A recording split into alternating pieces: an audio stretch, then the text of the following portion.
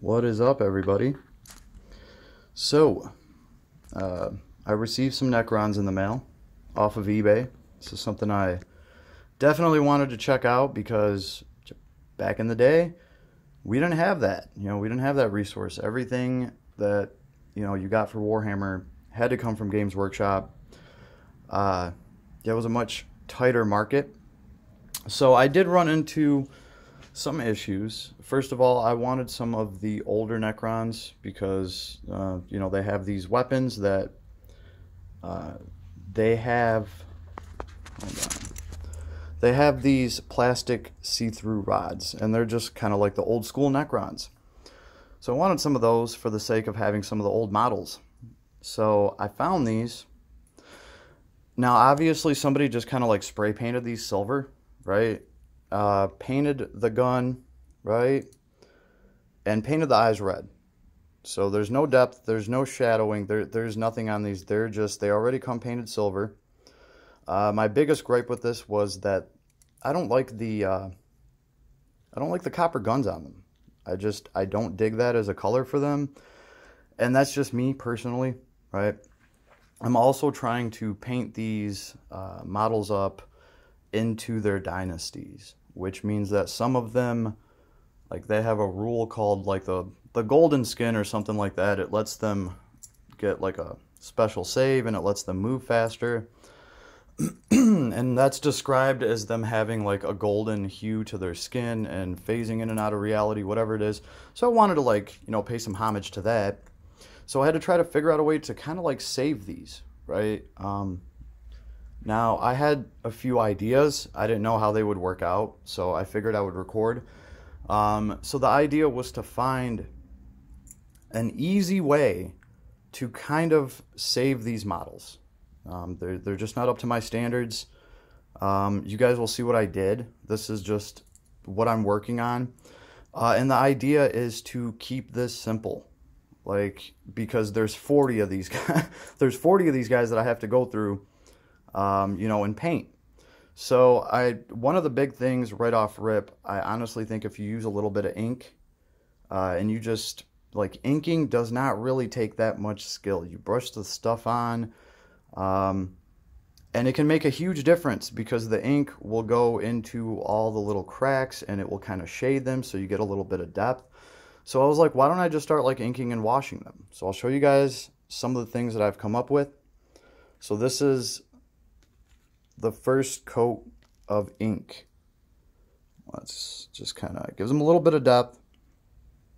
Right? Very simple thing to do. Only takes a couple of seconds right? Um, and then we have models that I've inked multiple times. So they start looking much different. I think they look better. And this is relatively very easy to do. This is not hard to do. Anybody can do this. It only takes a couple of seconds. I haven't even actually started painting on these models. Now this gun kind of looks messed up because I was trying to figure out, like I said, what I could do um, to kind of save these guns. Like I said, I just don't like that copper color on them. I don't know about doing this. It might take me a little bit of time to make all the guns like this to try to, you know, cover up that old paint. Um, and I don't know if I'm going to want to do that 40 times, right? But these guys kind of give me like a skeleton of undead horde vibe, and I kind of dig that. They do get to come back to life uh, after they get destroyed in the game, so that's kind of cool.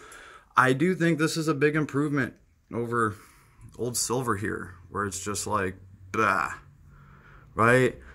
And this literally only took a couple more seconds to do um, as far as the inking goes. So I am kind of getting my painting boots back on and I'm going to be seeing what I can do to actually finish some of these models up.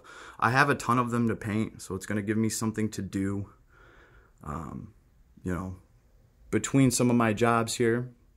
So whenever I get time, I'll get in here.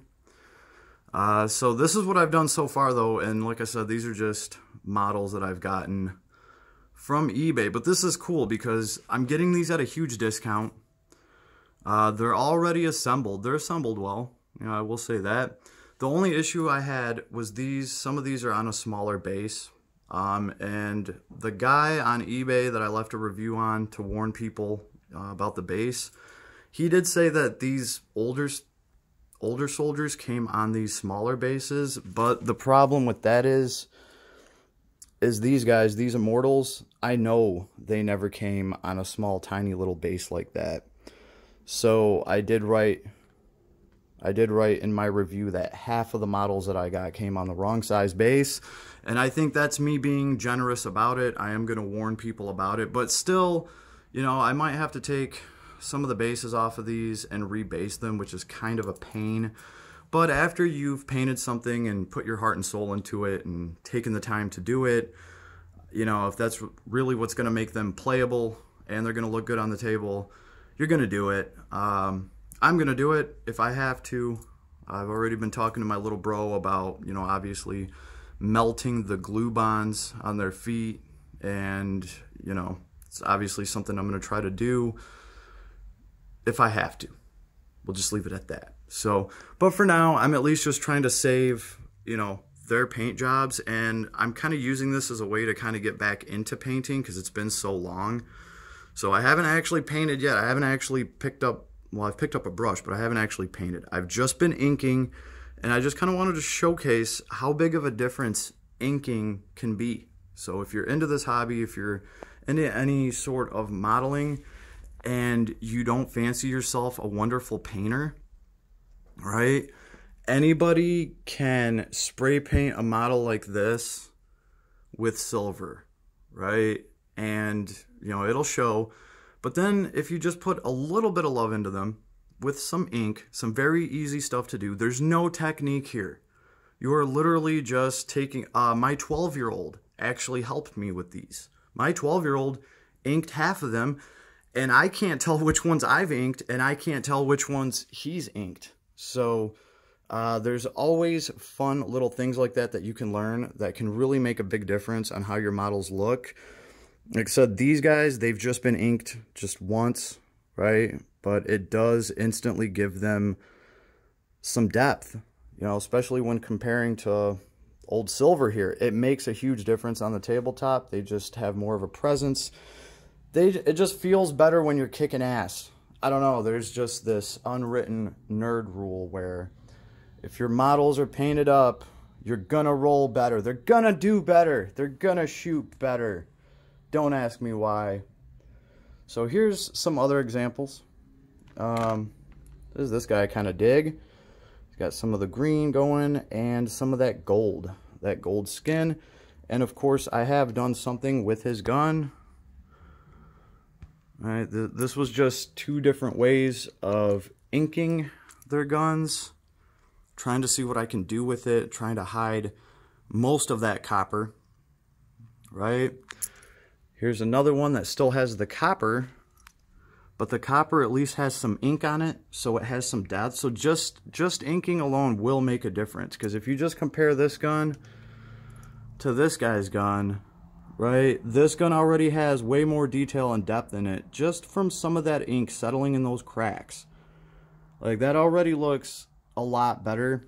I don't know how much this is all going to show up on my camera. This is actually really the first time I've used this camera mode to record anything for you guys. So hopefully this turns out all right. So you guys just get an idea of what I've been doing here. I'll keep you posted. I have a lot of cool stuff to paint. There's going to be tanks. Um, and I'm actually, like I said, going to be trying to work on my painting technique. It's been 10 years. It's, it's easily been 10 years since I've been able to do anything in this hobby at all. Um, so yeah, so now that like my kids have shown interest in it, uh, and my little bro wanted to run some battles as well. He got an army, I got an army. So yeah, good stuff to come. And let me know what you guys think.